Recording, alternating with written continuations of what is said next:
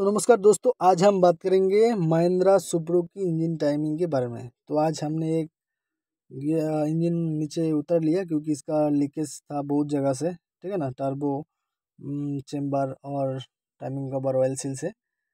तो इसके कारण हम लोगों ने इसको नीचे उतर लिया। तो आज मेरे पास एक इंजन आया तो इसका जो इंजन के टाइमिंग है, उसके बारे में आप लोगों को बताएँगे आज। तो मेरा वीडियो लास्ट तक ज़रूर देखें। तो यहाँ पे देखिए ये कटा हुआ जो मक्की गार्ड है, ये आपका ऊपर की तरफ़ रहेगा, तब आपका पिस्टन टप रहेगा। और इसमें देखिए बैलेंस क्रैंक और क्रैंक के बीच एक मार्क है, वाइट मार्क। इसमें से आपका बैलेंस क्रैंक और क्रैंक का पोजीशन आ गया, ठीक है ना दोस्तों?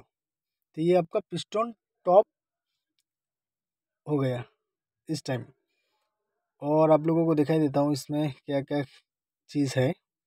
इसमें टाइमिंग चेन है, गाइड है और आपका टेंशनर है। इसमें दो टेंशनर लगती है, ठीक है ना? ये ऊपर वाला जो कैम है एग्जस्ट कैम उसको चलाने के लिए एक चेन दिया हुआ है सुप्रो गाड़ी में और मैक्सिमम में आपका गियर जो है गियर से वो ड्राइव होता था, इसमें चेन लगा दिया, ठीक है ना?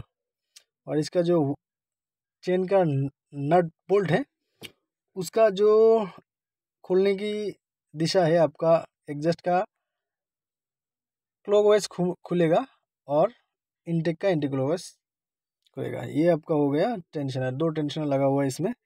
ये आपका चेन का जो टेंशनर है ये, आपका बड़ा वाला चेन ठीक है ना? और छोटा जो चेन है, उसका भी अलग है। इसका इधर देखिए क्रैंक लॉक भी होता है इसमें।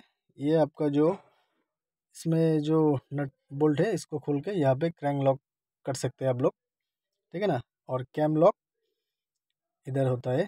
पीछे वो वैक्यूम पम्प खोल के और इधर जो छोटा कैब है, इसको खोल के आप लॉक कर सकते हो, ठीक है ना? टाइमिंग टूल्स के द्वारा, ठीक है ना? और इस वीडियो में सिर्फ़ इतना ही, क्योंकि नेक्स्ट वीडियो में आप लोगों को डिटेल्स बताएँगे और कैसे लॉक करता है, क्या करता है। इस वीडियो में सिर्फ़ कहाँ कहाँ पे लॉक होती है, कैसे टाइमिंग रहता है, इसके बारे में आप लोगों को थोड़ी सी जानकारी, ठीक है ना दोस्तों? तो मेरा इंजन रेडी हो गया तो हम अभी इसको उठाएँगे और टेस्ट करेंगे, ठीक है? Thank you for watching my video.